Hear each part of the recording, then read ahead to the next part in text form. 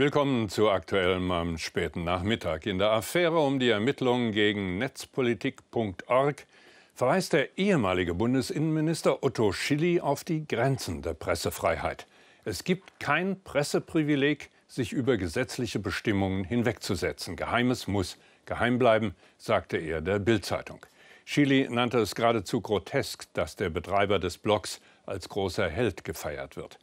Ich sehe mit großer Sorge, dass die Arbeit unserer Sicherheitsbehörden durch diese Praktiken, die sogar den Beifall der Opposition finden, in verantwortungsloser Weise erschwert wird, sagte der 83 Jahre alte Jurist von 1998 bis 2005 unter Bundeskanzler Schröder Innenminister.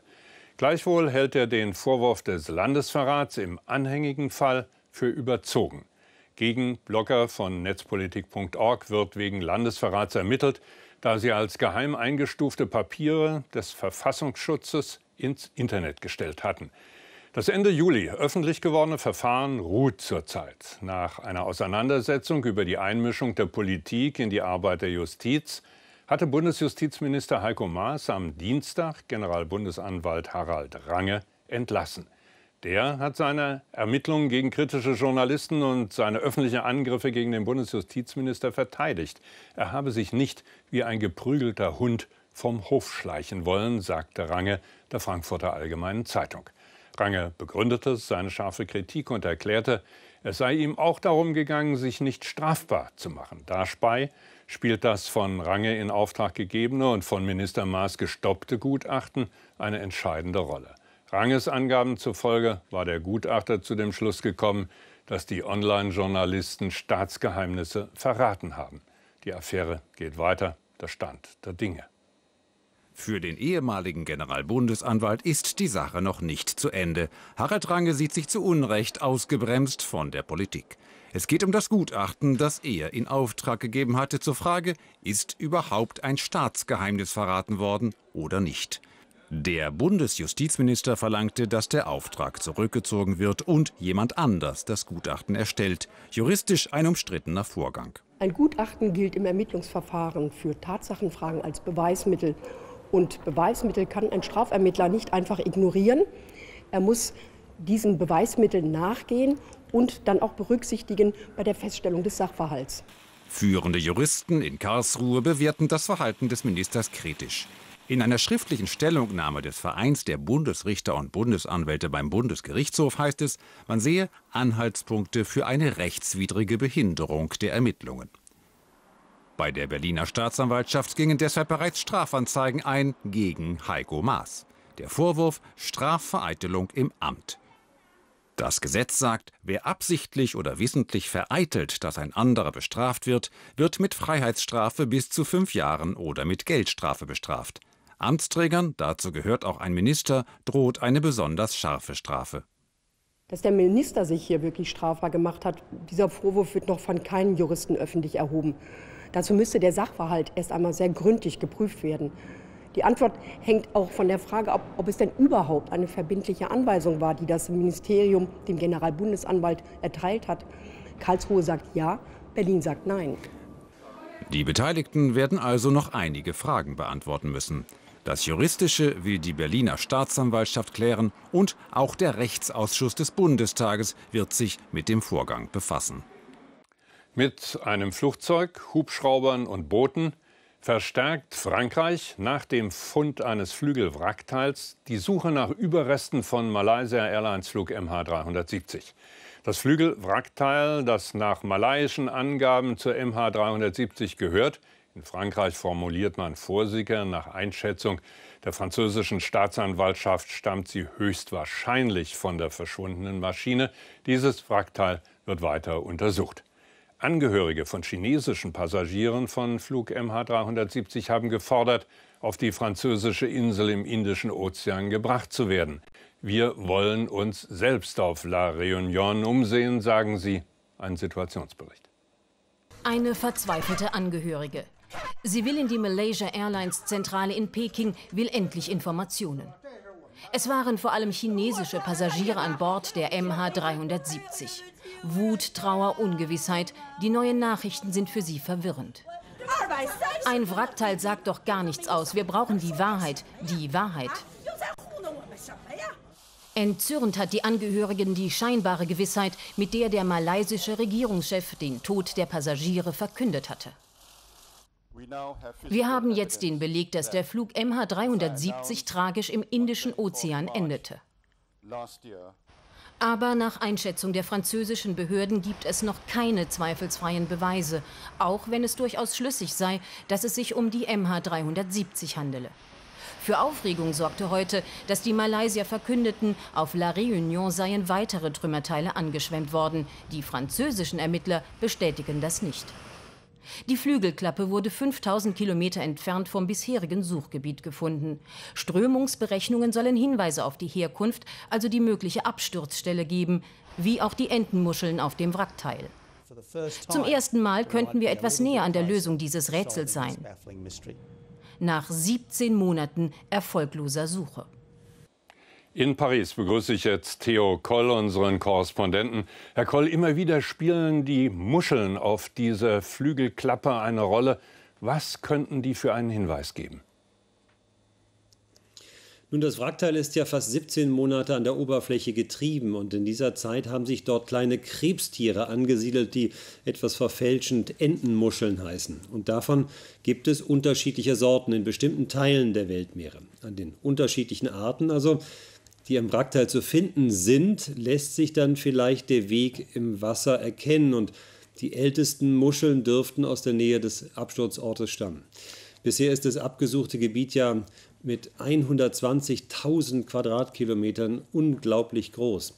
Vielleicht, vielleicht lässt sich dann, indem man über diese Muschelsorten das Gebiet etwas äh, weiter eingrenzen, wobei es auch Experten hier gibt, die vor allzu übertriebenem Optimismus warnen, die sagen, der Indische Ozean sei wie eine Art Flipperautomat, also Teile könnten sich sehr unterschiedlich verteilen. Also die auf wird aber neben diesen Muscheln Bitte? Pardon. Ich wollte sagen, diese Muscheln geben den Hinweis vielleicht auf den Weg des Wrackteils, aber sicher nicht auf die Absturzursache. Da könnten Risse, Schleifspuren, vielleicht sogar Sprengstoffreste Hinweise geben. Man untersucht ja weiter. In der Tat, dieses Labor ist ein Militärlabor des äh, französischen Verteidigungsministeriums. Das ist ähm, sehr gut ausgerüstet, äh, unter anderem mit Mikroskopen, die äh, bis zu hunderttausendfach vergrößern können. Das heißt also auch kleinste Restspuren von Rußstellen oder möglichen Explosionsfolgen könnten damit festgestellt werden. Von besonderem Interesse sind natürlich dabei diese Bruchkanten um zu ermitteln, wie und warum hat sich dieses Teil nun vom Flugzeug gelöst.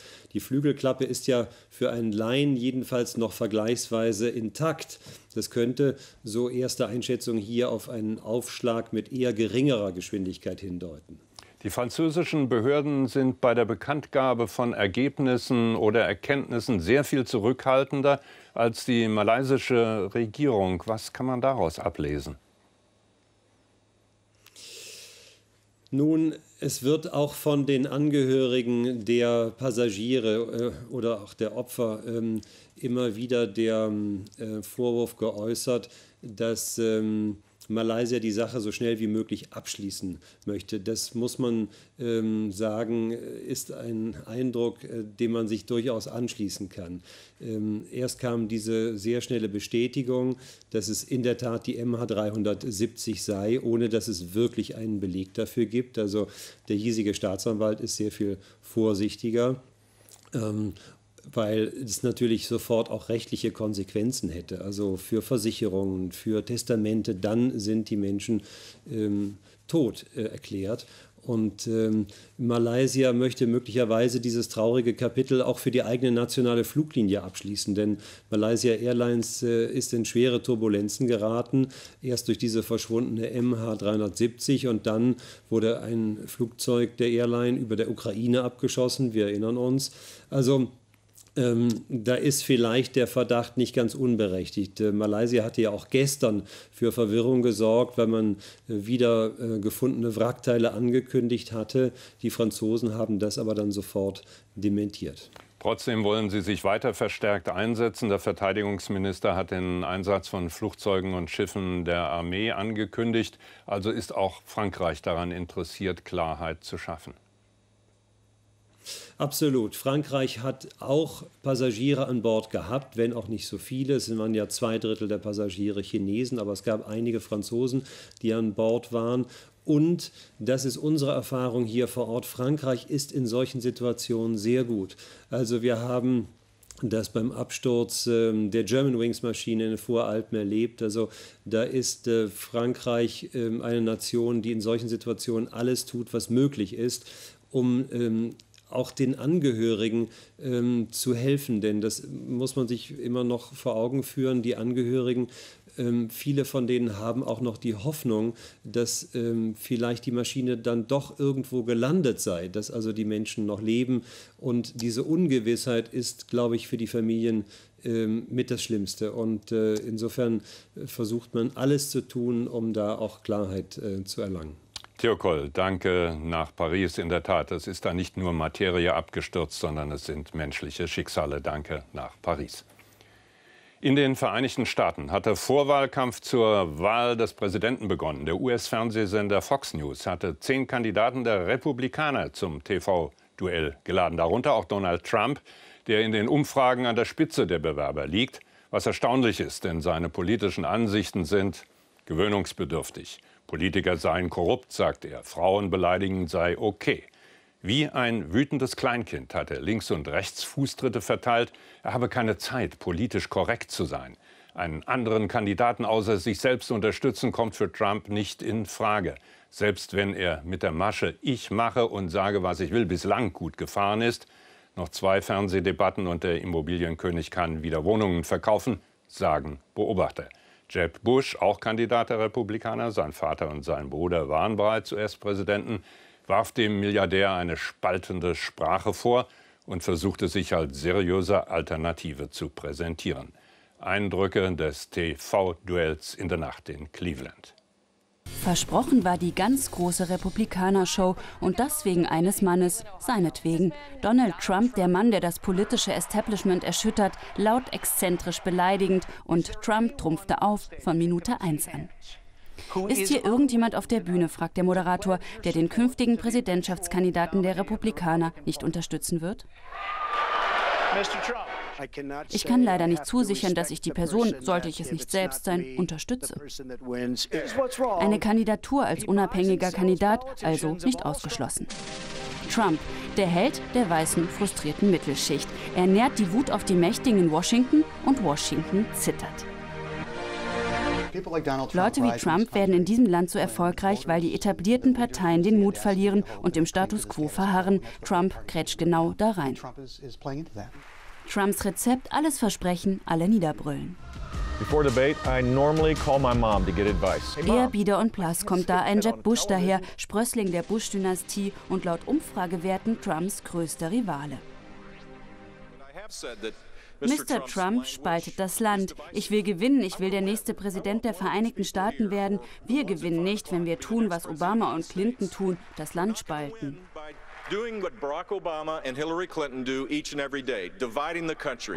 Spektakel. Damit haben es auch andere Republikaner versucht. Ted Cruz aus Texas etwa grillt Schinken auf seinem Maschinengewehr. Aber keiner beherrscht Schlagzeilen und Umfragen so wie Trump. Machine Gun Bacon. Das ist, als würde Trump die Energie aus dem Raum absaugen. Die anderen kriegen einfach keine Aufmerksamkeit für ihre Geschichte. Einwanderung, ISIS, der Iran-Deal. Es ging um viel in der TV-Debatte, am Ende aber vor allem um Donald Trump. Er wird nach seinen Geldspenden an Politiker gefragt. Die tun jetzt, was sie von ihnen erwarten, sagen sie. So ist es. Auch den meisten auf der Bühne hier habe ich Geld gegeben. Viel Geld. Also, also mir nicht.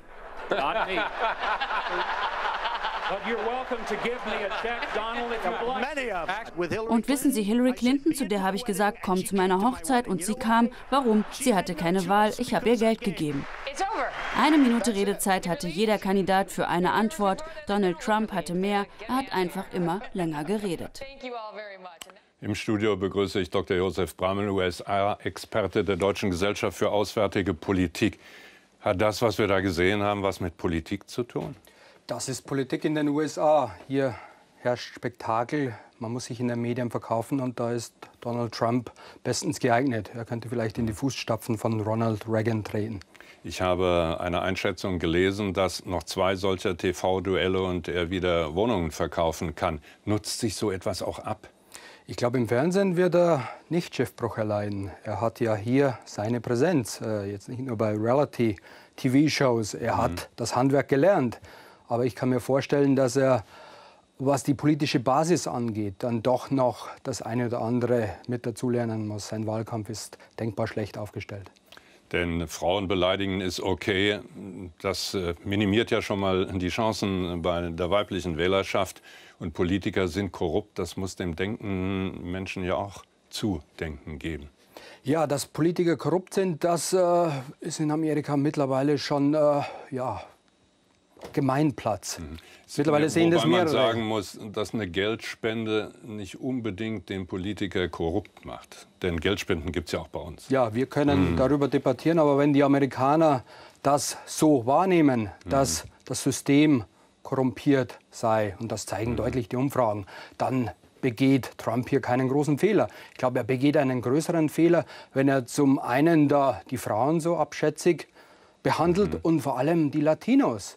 Er hat ja in rassistischer Weise hier die Latinos wieder mal vor den Kopf geschlagen. Und ich glaube, er hat nicht gelernt, dass der letzte Republikaner, der Präsident werden wollte, 20 Prozentpunkte Vorsprung bei weißen Wählern hatte und trotzdem die Wahl nicht gewinnen konnte. Mhm. Das heißt, Latinos werden das Zünglein an der Waage sein. Und deswegen traue ich Jeb Bush sehr viel mehr zu, der ja in dieser Frage sehr liberal aufgestellt ist.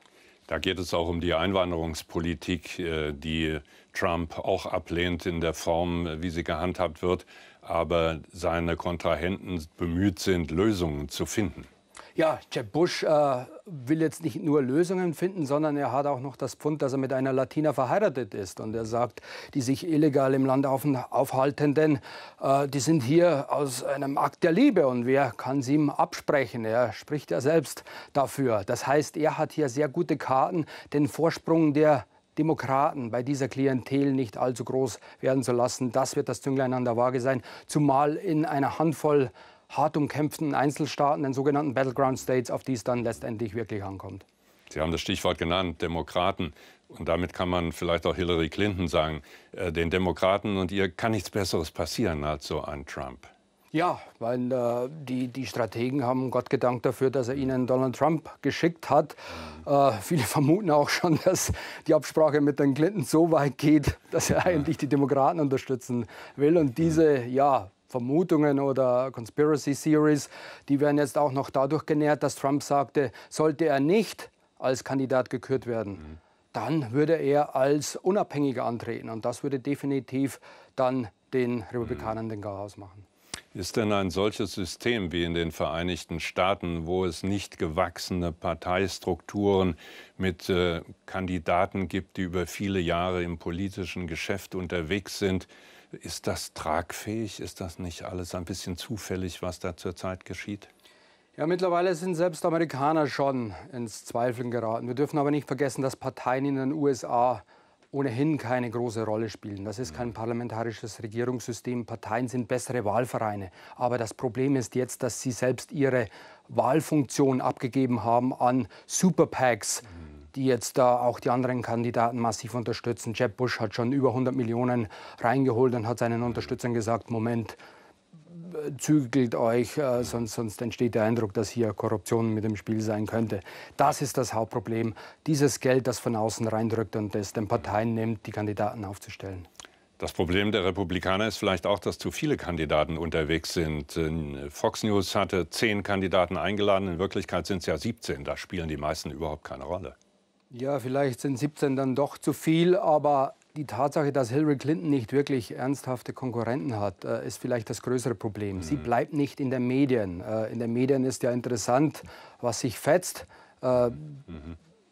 Der, der, der, ja gut, der Zweikampf wird dann stattfinden, aber bis dahin muss Hillary Clinton sehr viel Geld ausgeben, um im Gespräch zu bleiben. Das Problem haben die Republikaner jetzt mit Donald Trump schon gar nicht. Wie politisch ist die amerikanische Öffentlichkeit? Kann die amerikanische Öffentlichkeit einschätzen, welche Bedeutung solche TV-Duelle haben, nämlich innerparteilicher Kampf und noch nicht politisches Programm? Bei den Republikanern im Vorwahlkampf ist erstmal die äh, Basis der Republikaner wichtig. Und wir dürfen ja nicht vergessen, äh, das ganze Rennen wurde ja jetzt, dieses Schaulaufen wurde ja über Fox News dargestellt. Und da schauen nur die härtesten der Harten zu. Das Problem für moderatere Kandidaten wie Jeb Bush wird sein, hier diesen Vorwahlkampf zu überstehen. Falls er den überstehen sollte, vor allem auch mit seiner liberalen Haltung zur Einwanderungsfrage, dann hätte er sehr gute Kandidaten, dann Hillary Clinton zu schlagen. Aber hier dürfen wir nicht von der Öffentlichkeit als Ganzem ausgehen, sondern erst einmal die Teilöffentlichkeit sehr knallkonservativer Republikaner. Der Und Weg. die ist jetzt relevant. Der Weg ist noch ein langer. Herzlichen Dank für die Hilfe der Interpretation des TV-Duells heute Nacht in Cleveland. Dankeschön. Danke der rechtsradikale Norweger Anders Breivik tötete bei einem Bombenanschlag in Oslo und einem Massaker auf der Insel Utøya am 22. Juli 2011 insgesamt 77 Menschen. Die meisten Opfer waren Jugendliche zwischen 14 und 19 Jahren, die auf Utøya an einem Sommerlager der Jugendorganisation der Arbeiterpartei teilnahmen. Breivik schoss auch noch auf sie, als sie am Boden lagen oder durch das Wasser zu fliehen versuchten. Die zuvor in etwa 40 Kilometer entfernt gezündete Autobombe in Oslo sollte die Polizei ablenken. Acht Menschen starben dort.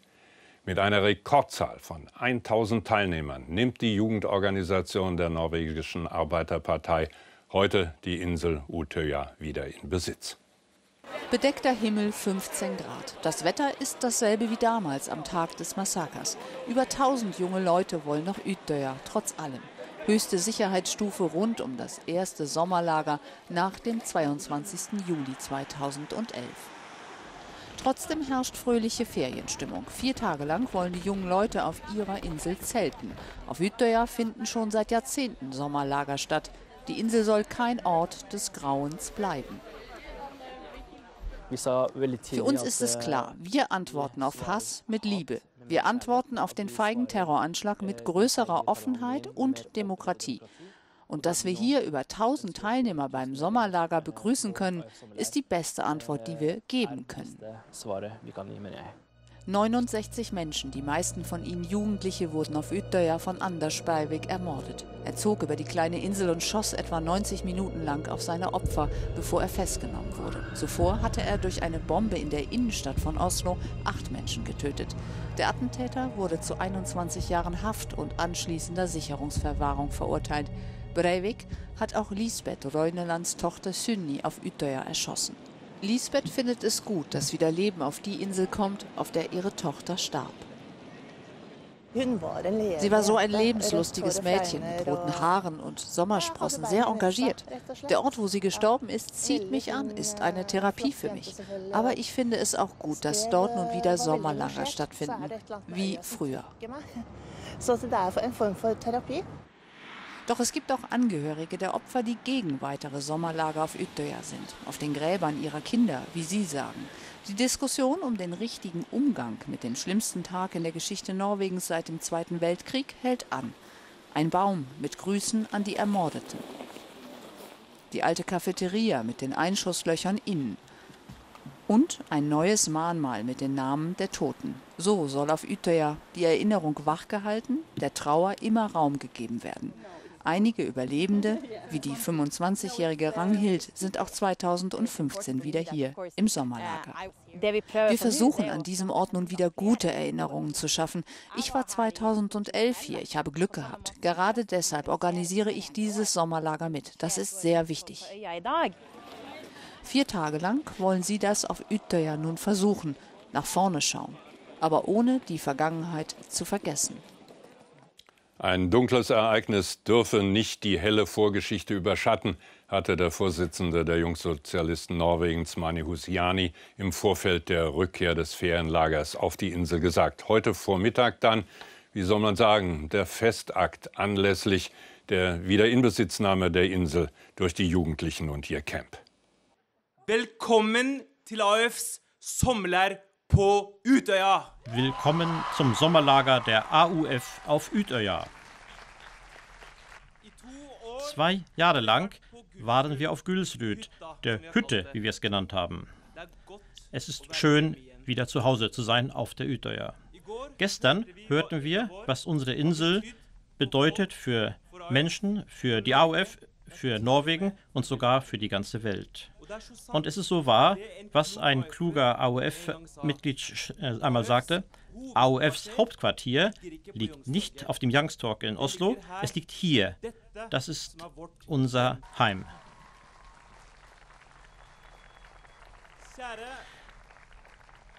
Liebe AOF-Mitglieder, heute sind wir Teil eines Größeren als wir selbst, sowohl als Teil einer langen Tradition mit den Sommerlagern auf Utøya und gleichzeitig sind wir hier zum ersten Mal seit den Terrorangriffen gegen unsere Organisation und der Nation im Jahre 2011. Am 22. Juli wird immer ein Teil der Geschichte Utøyas sein. Alles, was wir durchmachen mussten, alle diese schweren Tage. Aber dieser Tag wird auch immer ein Teil der Geschichte Utøyas sein. Der Tag, an dem AUFs Sommerlager wieder hier auf der Utøya stattfand.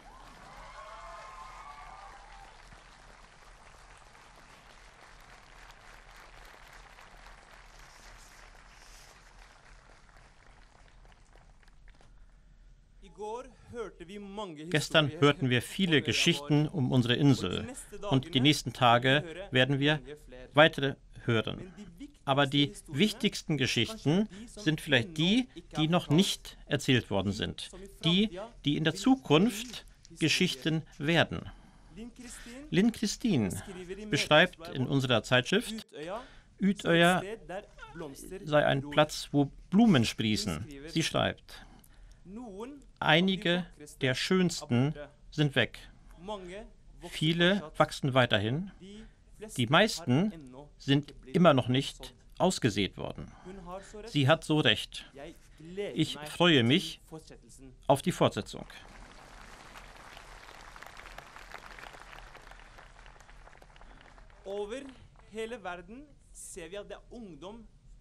In der ganzen Welt sehen wir die Jugend als die mutigsten. Es ist die Jugend, die verändert. Das zeigt Malala, die gegen den Taliban vorging. Das zeigten die Jugendlichen im Mittleren Osten während des arabischen Frühlings bei der Frage nach mehr Demokratie. Und es zeigt die Jugend in Europa, die Beschlüsse fordert, wenn die Finanzkrise Hunderttausende in die Armut treibt. Die Welt ist voll von Jugendlichen, die wollen und können. Und hier auf Utøya versammeln sich einige von uns. Ihr seid über 1000 Beweise dafür, wir wollen und wir werden verändern. Kameraden, Utøya ist nicht nur ein Ort, wo wir über internationale Solidarität sprechen. Utøya ist international eine Solidarität. Und deswegen bin ich besonders stolz, um Freunde willkommen zu heißen.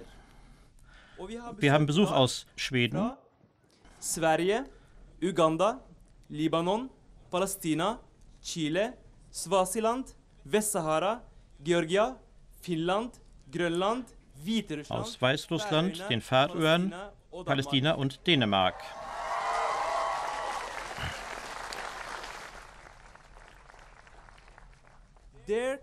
Liebe Kameraden, wir sind so stolz, euch hier zu haben und wir sind so stolz, euch unsere Schwestern und Brüder nennen zu können. Und auch wenn unsere Kämpfe unterschiedlich sind von euren, wir teilen alle dieselben Werte von Gleichheit und Solidarität. Dank an euch, hier zu sein und wir preisen unsere Freundschaft. Immer jünger werdende Gamer sind Jugendmedizinern ein Dorn im Auge. Computerspiele haben ein großes kreatives Potenzial, sagte der Präsident des Berufsverbandes der Kinder- und Jugendärzte Wolfgang Hartmann in Köln. Aber viele sind brutal und ungeeignet für Minderjährige, erklärte der Mediziner anlässlich der weltgrößten Computerspielmesse Gamescom 2015, die bis Sonntag in Köln stattfindet. Den Eltern falle es oft schwer, Grenzen zu setzen, zumal wenn sie selbst schlechte Vorbilder sind, so Hartmann weiter. Mütter und Väter sollten sich unbedingt informieren, was ihre Kinder spielen. Es gebe jede Menge schöne, lustige und lehrreiche Spiele. Unter welchem Aspekt auch immer die weltgrößte Computerspielemesse fasziniert. Seit Monaten fiebern sie diesem Event entgegen, haben stundenlang dafür angestanden. Es waren gerade eben Spieler, die noch nie gespielt haben. Ein Spiel, was gerade noch rauskommt. Und das ist einfach dieses Tolle, ne? dieses Erlebnis, dieses Feeling einfach. Man lebt das einfach mit. Raumschiffe, Monsterkampf und Abenteuer. Wer hier spielt, taucht komplett ab in eine andere Welt. Fast alle Anbieter wollen mit neuen Staffeln ihrer Spiele beim Publikum punkten. Die Faszination ist ungebrochen. Ja, die großen Trends sind ähnlich wie in den letzten Jahren, also wieder viel Open World, äh, sehr große Spielwelten, wo man viele Freiheiten hat. Ähm, gerade die neuen Konsolen geben da auch ein bisschen mehr Möglichkeiten, dass man mehr Interaktionsmöglichkeiten hat, mehr Sachen selber herstellen in Spielen, also Crafting heißt das. Die große Hoffnung der Branche aber ist die Virtual Reality Brille. Nicht ganz neu, doch Technik und Grafik werden immer raffinierter. Spätestens im nächsten Jahr soll sie marktreif sein. Bei Virtual Reality sind Sie mitten im Spielgeschehen drin. Das heißt, Sie erleben nichts mehr anderes als das, äh, als das Spielerlebnis. Das heißt, total intensiv und von daher eine komplett neue Spielerfahrung. Ob pure Unterhaltung oder Mitfiebern bei großen E-Sports und Online-Schlachten, es ist ein gigantischer Markt, der da heranwächst mit Milliardenumsätzen weltweit. Nur das große Geld wird im Ausland verdient. Deutschland ist, was Spieleentwicklung angeht, immer noch Entwicklungsland. Das ist ein Riesenproblem und dafür müssen sich insbesondere die Rahmenbedingungen, auch die politischen Rahmenbedingungen für die Branche in Deutschland ändern, weil wir reden hier über das Zukunftsmedium, über das Medium dieses Jahrhunderts. Sicher ist eins, künstliche und reale Welten werden immer mehr miteinander verschmelzen, zumindest für die kommenden drei Tage in Köln. Computerspielmesse beschäftigt nicht nur Jugendmediziner, auch Bildungspolitiker. Computerspiele hätten neue spannende Lernformen für alle Altersgruppen geschaffen. Es wurde der Realitätsbezug von Computerspielen gelobt, der Impuls von Computerspielern, nach Niederlagen aufzustehen und es erneut zu versuchen, sei auch im Arbeitsleben wichtig. Und die Messe ist auch ein Wirtschaftsfaktor. Klaus Weber im Gespräch mit Gerald Böse, Vorsitzender der Geschäftsführung von Köln Messe. Sehr wichtig für die Computerspielebranche sind natürlich Messen, ganz besonders die Gamescom.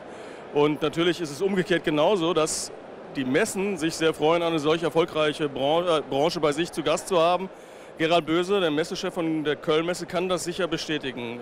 Herr Böse, eine solch erfolgreiche Messe, hätten Sie damit gerechnet, als Sie die damals hierher geholt haben, die Gamescom?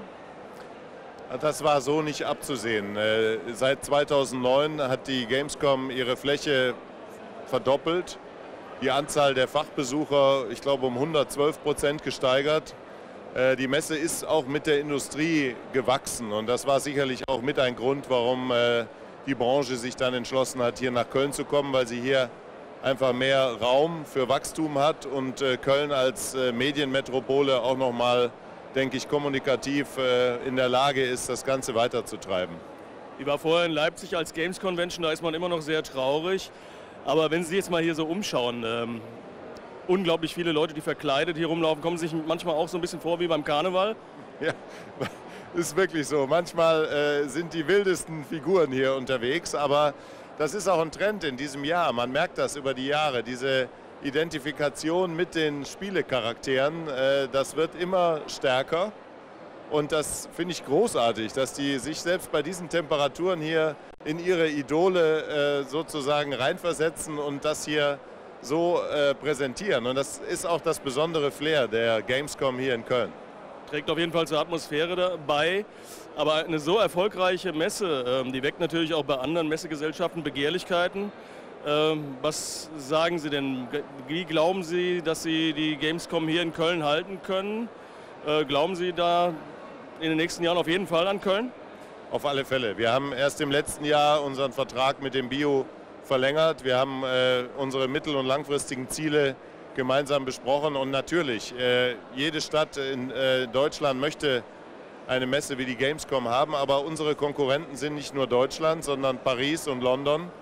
Und wenn wir den äh, generellen Spielemarkt sehen, dann ist die UK sehr, sehr stark. Und äh, wir schauen nicht nur nach äh, Deutschland, sondern unsere Konkurrenten sind global. Meine Damen und Herren, wann immer Wesentliches in der Welt geschieht, Phoenix informiert Sie unmittelbar und umfassend, das wissen Sie. Hoffen wir gemeinsam, dass wir ein ereignisarmes Wochenende in Bezug auf negative Nachrichten erleben, dann müssen wir unser geplantes Wochenendprogramm nicht ändern. Einen schönen Tag wünsche ich Ihnen noch.